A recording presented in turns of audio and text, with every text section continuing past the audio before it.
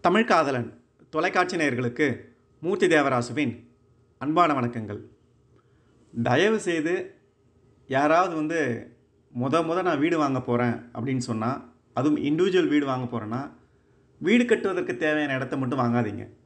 கூடவே வந்து தோட்டத்தை அமைப்பதற்கான இடத்தையும் சேர்த்து வாங்குங்க. அப்புறம் த- தம்முதூண்டு இடம் வாங்கிட்டு நாளைக்கு வந்து ஐயோ இன்னும் கொஞ்சம் இடம் வாங்கியிருக்கலாமே தோட்டம் அமைச்சிருக்கலாமே இயற்கையாக வாழ்ந்திருக்கலாமே அப்படின்ட்டு வருத்தப்படக்கூடாது. என்னுடைய கணிப்பின்படி வந்து பார்த்தீங்கன்னா ஒரு ஆயிரத்தி எட்நூறுலேருந்து ரெண்டாயிரம் ஸ்கொயர் ஃபீட்டு இல்லை ரெண்டாயிரத்தி நானூறு ஸ்கொயர் ஃபீட் நீங்கள் இடம் வாங்குனீங்கன்னா வீடு கட்டினது போக நீங்கள் இயற்கையான தோட்டமும் அமைக்கலாம். அப்படி தான் நம்மளும் வந்து ஒரு தோட்டத்தை ஆரம்பிக்கும் போச்சு நம்மளுடைய இடம் வந்து பார்த்தீங்கன்னா ரெண்டாயிரம் ஸ்கொயர் ஃபீட்டு அதில் ஒரு ஆயிரம் ஆயிரத்தி இரநூறு ஸ்கொயர் ஃபீட் வந்து அந்த வீடு காம்பவுண்ட் அதுக்கெலாம் போயிடுச்சு. மீதி வந்து ஆறுநூறுலேருந்து எட்நூறு ஸ்கொயர் ஃபீட் வந்து நம்ம தோட்டம் அமைப்பதற்காகவே வந்து விட்டிருந்தோம். அதில் வந்து நம்ம நம்மாழ்வார் அவர்களின் கூற்றுப்படி வந்து என்னென்னலாம் வந்து வைக்க சொன்னாரோ அதெல்லாம் வந்து வச்சுருக்கோம். வாங்க நம்ம தோட்டத்துக்கு போகலாம். நம்ம தோட்டத்தில் வந்து பார்த்திங்கன்னா இப்போ அந்த செப்டிக் டேங்க் ஒன்று இருந்தது பத்துக்கு பத்து. அதில் வந்து காய்கறிகளை வந்து போட ஆரம்பிச்சிருக்கோம். குறிப்பாக வந்து கொத்தவரங்காய் சுரக்காய் வெண்டைக்காய் அதுக்கப்புறம் சில பூக்கள் தக்காளி செடி இதெல்லாம் வந்து இந்த பத்துக்கு பத்து ஸ்கொயர் ஃபீட்டில் வந்து புதுசாக வந்து ஆரம்பிச்சிருக்கோம். ரொம்ப அருமையாக வந்து வளர்ந்துட்டுருக்கு. அதோட அறுவடையை அடுத்த வீடியோவில் உங்களுக்கு காமிக்கிறேன். இது நாட்டு கொய்யாக்காய். உள்ளே வந்து ரெட் கலரில் இருக்கும். ரொம்ப டேஸ்டியாக இருக்கும். சைஸ் வந்து ரொம்ப சின்னதாகவும் இல்லாமல் ரொம்ப பெருசாகவும் இல்லாமல் மீடியம் சைஸில் இருக்கும். உடம்புக்கு ரொம்ப நல்லது. ஹைப்ரிட் இல்லாமல் நீங்கள் எதை சாப்பிட்டாலும் வந்து உடம்புக்கு நல்லது. சில நேரங்களில் ஹைப்ரிட் விதையாக இருந்தால் கூட அதை நம்ம வளர்க்குற விதம் இயற்கையாக இருந்தால் அது வந்து ஒன்றும் பிரச்சனை கிடையாது. அடுத்தது நம்ம வீட்டோட சொத்துக்கள் வந்து வாழை மரங்கள்.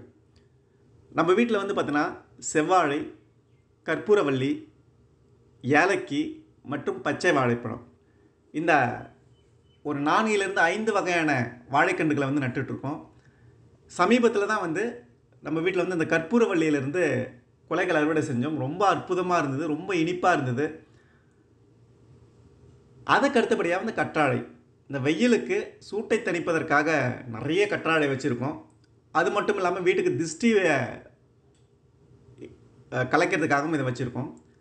இப்போது நீங்கள் பார்க்குறது வந்து அத்திப்பழச்செடி இது வந்து ஹைபிரிட் தான். ஒரு இலைக்கு ஒரு காய் வரும்.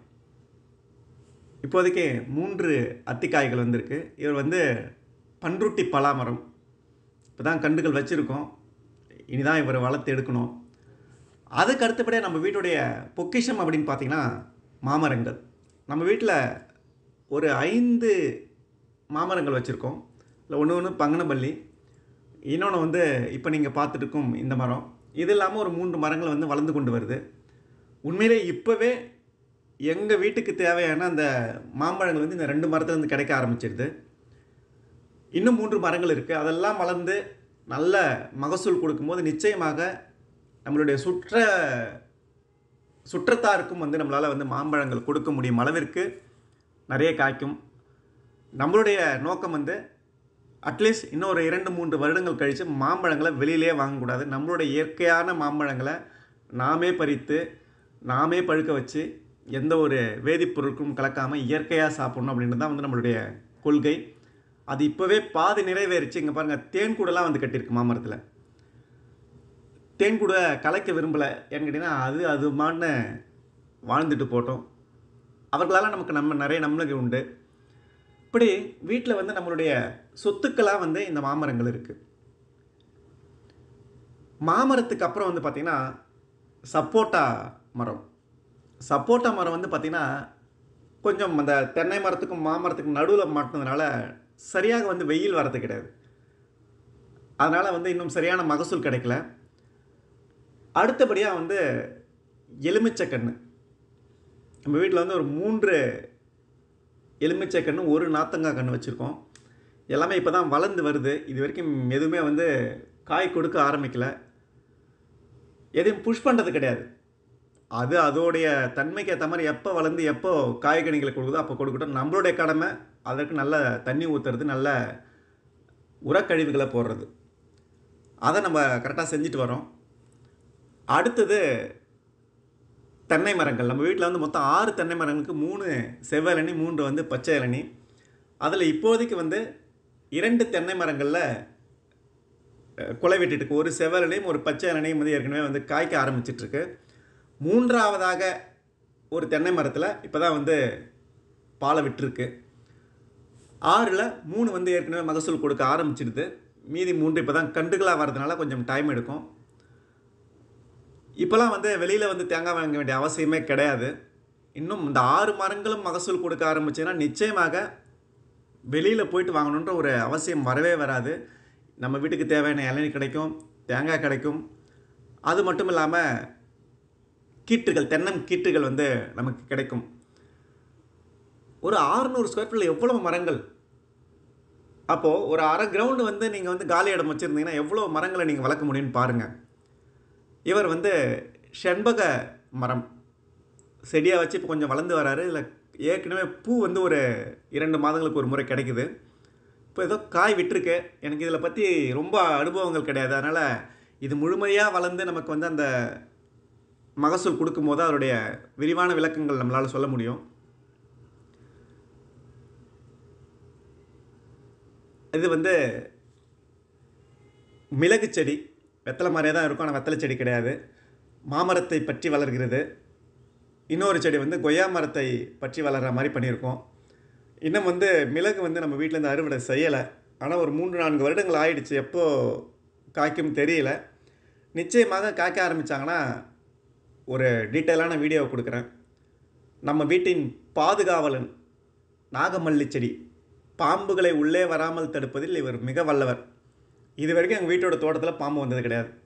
காரணம் எனக்கு என்னன்னு தெரியாது. நான் நம்புகிறேன் இதனால தான் வரல அப்படின்ட்டு. ஏன்னு கேட்டிங்கன்னா இதோடைய பூக்கள் வந்து வெண்மை நிறத்தில் இருக்கும். நைட்டில் பார்த்தீங்கன்னா எவ்வளோ இருட்டாக இருந்தாலும் இந்த பூக்கள் வந்து பார்த்திங்கன்னா அவ்வளோ பளிச்சுன்னு இருக்கும். அதை பார்த்து பயந்து பாம்புகள் உள்ளே வரது இல்லைன்னு எனக்கு தெரியல. ஆனால் இது வரைக்கும் வந்து என் கண்ணால் இந்த தோட்டத்தில் வந்து பாம்பு வந்து நான் பார்த்ததே கிடையாது.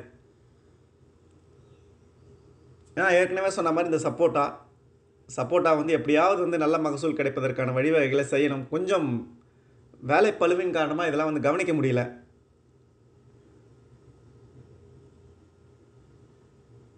கொஞ்சம் நடுவில் வந்து அந்த கருப்பு பூச்சி வந்து தொந்தரவு இருந்தது. இப்போ கொஞ்சம் சரியாக ஆரம்பிச்சிருது. இது இல்லாமல் நிறைய செம்பருத்தி செடிகள் வச்சுருக்கோம். குறிப்பாக வந்து ஒத்தை செம்பருத்தி அடுக்கு செம்பருத்தி அதுக்கப்புறம் வந்து சந்தன நிறத்தில் இருக்கிற ஒத்தை செம்பருத்தி அப்படின்ட்டு ஒரு மூன்று வகையான செம்பருத்தி ம வெரைட்டியை வந்து வச்சுருக்கோம். சாமிக்கு கொடுக்க வேண்டிய பூலாம் இங்கே கிடைக்குது. அடுக்கு செம்பருத்தி வந்து மரமாகவே ஆயிடுச்சு. ஏற்காடுலேருந்து வாங்கிட்டு வந்தது. கட கட கடகடன்னு வளர்ந்த ஆரம்பிச்சு இப்போ வந்து பார்த்தீங்கன்னா மொட்டை மாலில் தொடர அளவுக்கு வந்து வளர்ந்துட்டாரு. வீடியோ எடுக்கிறது ரொம்ப கஷ்டமாக இருக்குது அந்த அளவுக்கு வந்து ரொம்ப ஹைட்டாக வந்து வளர்ந்துருக்கு.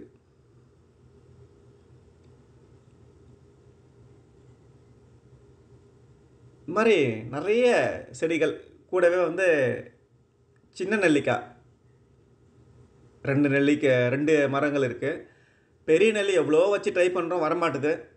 இந்த சின்ன நெல்லியிலேருந்து இன்னும் நெல்லிக்கனிகள் வந்து எனக்கு கிடைக்கல. கிடைச்சின்னா நிச்சயமாக ஒரு விரிவான பதிவு போடுறேன். சுண்டைக்காய் செடி.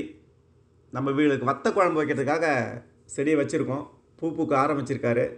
வெகு விரைவில் நம்ம சுண்டைக்காய் செடியிலிருந்து சுண்டைக்காய் பறித்து குழம்பு வைக்க போகிறோம் நீங்களும் பார்க்க போகிறீங்க இது மட்டும் இல்லாமல் வெளியில் வந்து கருணொச்சி வச்சுருக்கோம். வெத்தலை செடி வச்சுருக்கோம். அதுக்கப்புறம் வந்து பார்த்திங்கன்னா சங்குப்பூ செடி வச்சுருக்கோம். இது மாதிரி நிறைய செடிகளை வந்து வீட்டுக்கு வெளியில் வந்து வச்சு படர விட்டுருக்கோம்.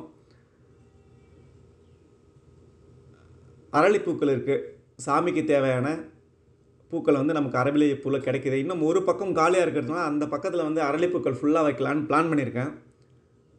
அதனால் எங்கள் வீட்டுக்கு வந்தீங்கன்னா ஒரு தோட்டத்தில் வரும் ஒரு ஃபீலிங்கை வந்து கொடுக்கணும் அப்படின்றது தான் அவனுடைய நோக்கம். நண்பர்களே ஒரு 600 ஸ்கொயர் ஃபீட்டில் என்னால் இவ்வளோ விஷயங்கள் பண்ண முடியுது.